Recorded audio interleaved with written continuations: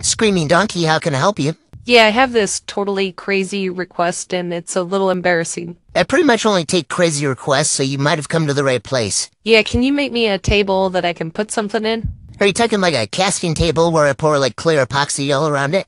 Exactly. Oh yeah, I do those all the time. That's not too crazy of a request. I actually have a friend who specializes in it, and I can point you in her direction if it's pretty straightforward. So you don't want to do it? it? It's pretty crazy. Oh no, yeah, casting tables are pretty straightforward. I don't really do them unless there's some crazy element that kind of goes along with it. Oh, there's more to it. Oh well then, sure, fire away. I have a casting of my husband's thing, and I want to put it in there. His thing? Why, what thing is it? You know, his his thing. Oh, his thing. So you made a mold of it? Yeah, we bought this whole little kit and everything, and now we have a mold, and I really want to stick it in a table. All right, I'm sorry. I have to ask this as a design question.